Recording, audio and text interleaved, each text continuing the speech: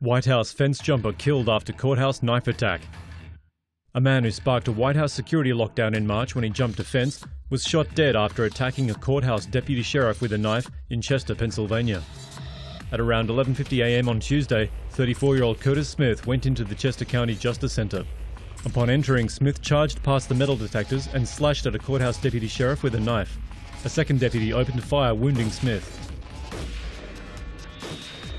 Smith received first aid at the scene before being taken to a hospital where he was declared dead. Despite being an apparent nutjob, Curtis Smith's neighbours told local news reporters he was actually a good husband and father to his wife and two kids. Like this video?